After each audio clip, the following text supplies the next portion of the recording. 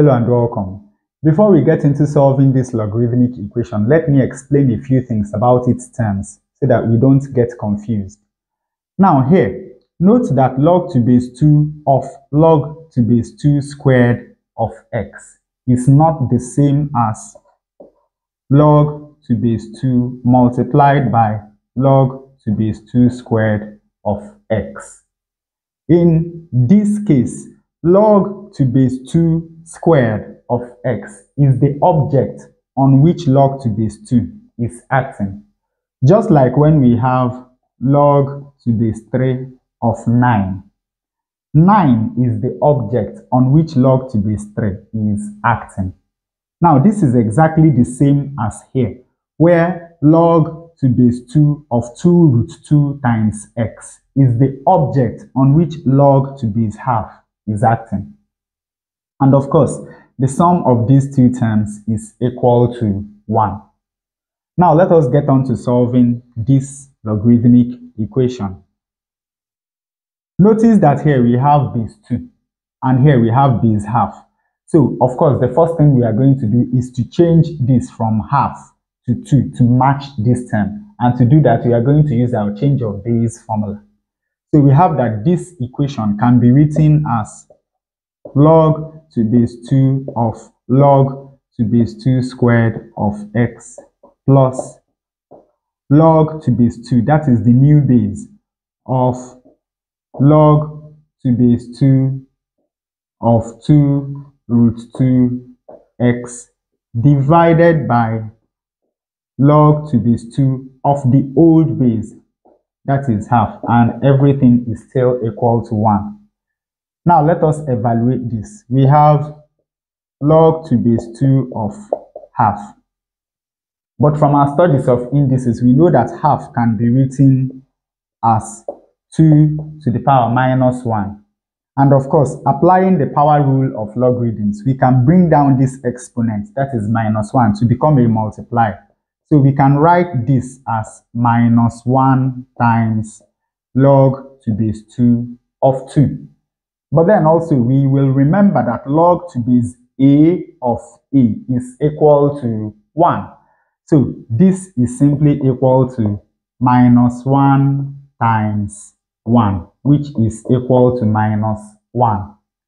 So this denominator is simply equal to minus 1. And of course, you know that when we divide by minus 1, what is going to happen is that this positive sign will change to negative. So basically what we are going to have is something like this. So this is exactly equal to that. Now we have log to base 2 and we have log to base 2 and we have negative. Let us remember the law of logarithm that says that when we have log a minus log b, that this is equal to log a over b. So that means that we can write this equation as log to base 2 of log to base 2 squared of x over log to base 2 of 2 root 2x. And of course, this is still equal to 1. Now remember that when we have a statement like this, what it simply means is that 2 raised to power 1 which is 2, is equal to this object. So basically from here we have that this fraction is equal to 2. And of course the next thing we are going to do is to cross multiply. When we do that we have that log to base 2 squared of x is equal to 2 times log to base 2 of 2 root 2 x. Now, let us look at this right hand side. You know that we can apply the power law in reverse, right? we can take this multiplier, that is 2, up to become an exponent. So this right hand side is going to be equal to log to base 2 of 2 root 2 times x raised to power 2. Let us evaluate this. 2 to power 2 is 4. Root 2 to power 2 is 2. And of course, we have x squared. So this is equal to 8 times x squared. So we have that log to base 2 of x all squared. You know that this is exactly what this means, right? Is equal to log to base 2 of 8 multiplied by x squared. But once more, let us remember that when we have log a times b, that this is equal to log a plus log b. So this right hand side is simply equal to log to base 2 of 8 plus log to base 2 of x squared. And let us evaluate this term. We have log to base 2 of 8. But 8 is equal to 2 cubed. So this is log to base 2 of 2 cubed. And once more, applying the power law, this can be written as 3 times log to base 2 of 2. But then log to base 2 of 2 is equal to 1. So this is simply equal to 3. So we have that this whole term is simply equal to 3. And this equation becomes log to base 2 of x squared is equal to 3 plus log to base 2 of x squared. Now let us rearrange this. We have log to base 2 of x squared minus log to base 2 of x squared minus 3 is equal to 0. Let us apply the power law to this term. So we have log to base 2 of x squared minus 2 times log to base 2 of x minus 3 is equal to 0.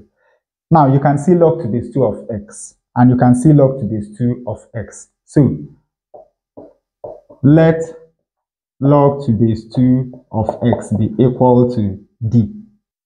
And with this substitution, this equation becomes d squared minus 2d minus 3 is equal to 0.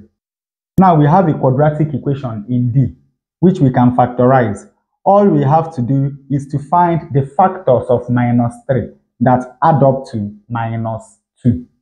And of course, we have minus 3 and 1 because minus 3 times 1 is going to give us minus 3 and minus 3 plus 1 is going to give us minus 2. So we have that d minus 3 multiplied by d plus 1 is equal to 0. And of course, from here we have that d minus 3 is equal to 0 or d plus 1 is equal to 0 d is equal to 3 or minus 1. So being that d is equal to log to base 2 of x, we have that log to base 2 of x is equal to 3 or log to base 2 of x is equal to minus 1. And of course, once more from here, we know that 2 to the power 3 is equal to x or 2 to the power minus 1 is equal to x. We have that 8 is equal to x or half is equal to x. Now that we have found x to be equal to 8 or half, let us check our answers. Substituting x equal to 8 into this equation, we have log to base 2 of log to base 2 of 8 squared plus log to base half of log to base 2 of 2 root 2 multiplied by 8. Now we have already found that log to base 2 of 8 is equal to 3. And of course, 3 squared is equal to 9. So here we have log to base 2 of 9. Let us evaluate this. We have 2 to the power 1 multiplied by 2 to the power half. That is the square root of 2 multiplied by 2 to the power 3, which is equal to 8. Now, of course, you know that when we have three numbers like this multiplying with the same base, we can simply add the exponents. So this is equal to 2 to the power 1 plus 3, which is 4 and half. That is 4.5. So here we have log to base half of log to base 2 of 2 to the power 4.5. But log to base 2 of 2 to the power 4.5 is equal to 4.5 because when we apply the power law to this, we have log to base 2 of 2 to the power 4.5. Applying the power law, this exponent will come down to become a multiplier, giving us 4.5 times log to base 2 of 2. And log to base 2 of 2 is 1. So here, what we have is that this is going to log to base half of 4.5. But remember that log to base half of 4.5 is the same as minus log to base 2 of 4.5. And of course, here we have log to base 2 of 9.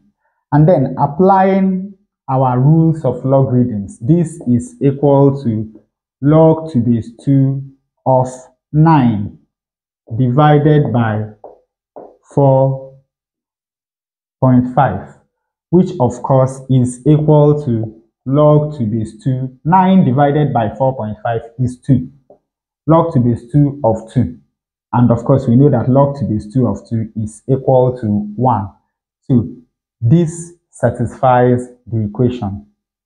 Now, when x is equal to half, this equation becomes log to base 2 of log to base 2 of half squared plus log to base half of log to base 2 of 2 root 2 multiplied by half.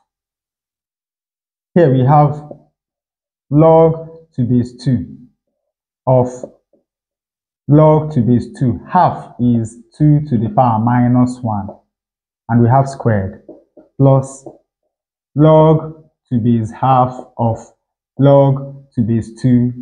2 is going to take care of 2, leaving us with the square root of 2 which we can write as 2 to the power half. Of course, log to base 2 of 2 to the power minus 1 is equal to minus 1. So here we have log to base 2 of minus 1 squared plus log to base 2 of 2 to the power half is equal to half. Minus 1 squared is 1. And log to base half of half is equal to 1. Of course, we know that log to base 2 of 1 is equal to 0. So this is equal to 0 plus 1, which is equal to 1. But I have a problem. Notice that here we have log to base 2 of minus 1 squared. Regardless of the fact that we had to square the minus 1, can we really accept x equal to half as a real solution to this logarithmic equation? I'd like to hear your thoughts in the comment section. And with that, we come to the end of today's exercise. I hope you learned something new. If you enjoy such content, please subscribe to the channel. Leave us a like to support the channel. Thanks for watching and see you in the next one.